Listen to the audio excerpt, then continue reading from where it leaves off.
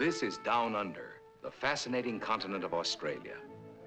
And these people are of that rare breed you'll find nowhere else, the Sundowners. We're behind the scenes of the Warner Brothers production, directed by Fred Zinnemann of Nun's Story fame.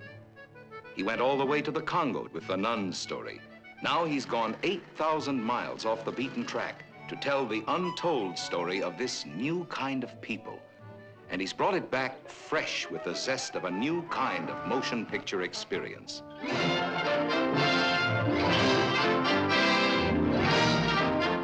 For two unforgettable hours, you'll go along with the Sundowners, living a rich, lusty life you've never known before. You'll bask at the warmth of Ida, with all that beauty under a coat of dust.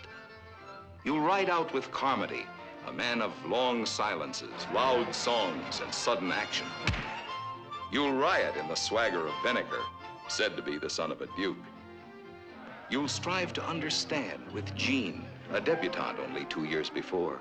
You'll discover life anew with Sean, turning from boy into man. You'll meet Turk and Liz and Evans, and altogether the most exciting offbeat bunch who ever attached themselves to a wonderful story.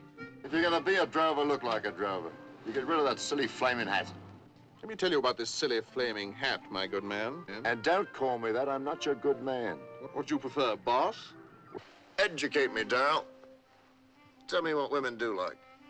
All right. No, no, no, no, no, no. Around here, we do everything by the bell. Get up by the bell, go to sleep by the bell, eat by the bell, wash by the bell. We ain't got a bell for that, Art.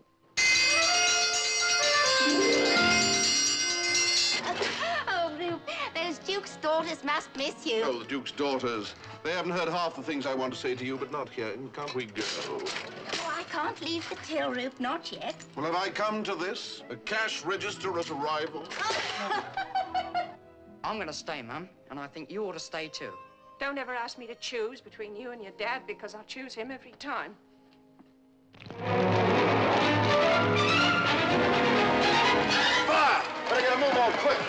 There's a river about two miles on. You get the other side of that, you'll be all right.